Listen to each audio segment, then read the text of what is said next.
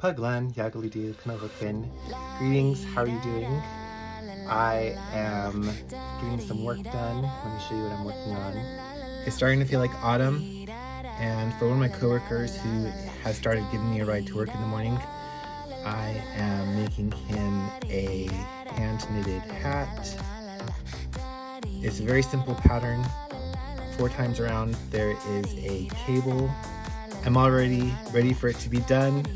I want to have it done and give it to him.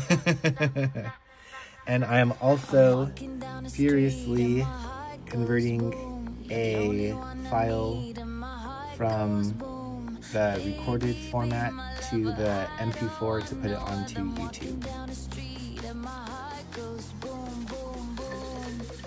While I'm knitting, I'm listening to Pandora. I haven't done it in a while, and I have a Euro pop station on. So I'm just flopping along in my head to the music and knitting and keeping an eye on the computer, making sure it is still converting to upload it.